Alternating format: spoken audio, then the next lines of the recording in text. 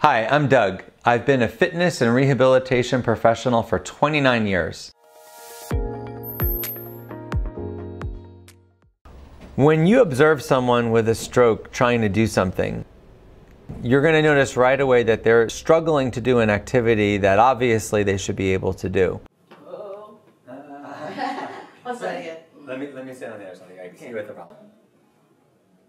It's so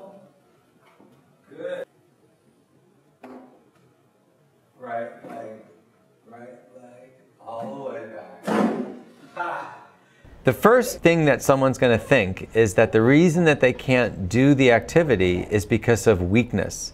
And that's definitely not the whole story. Big step, giant steps, giant steps, giant steps, giant steps, giant steps. Now giant steps backwards. Ooh. Whoa!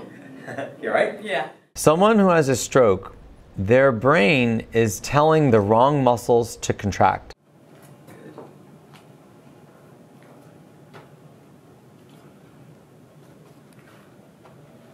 Good.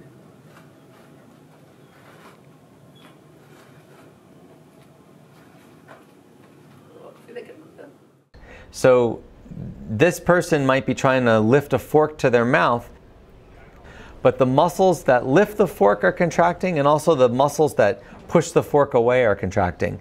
So the movement looks jerky or rigid or slower than it actually should.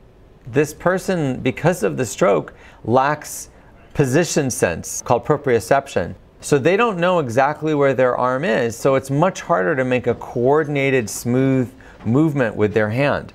There is also weakness, so some of the muscles might not be as strong as they normally are, so they may be struggling to get the arm into certain parts of the movement.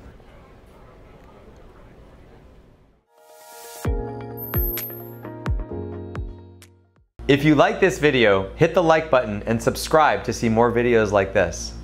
If you want to access my full training course, click the link below in the description.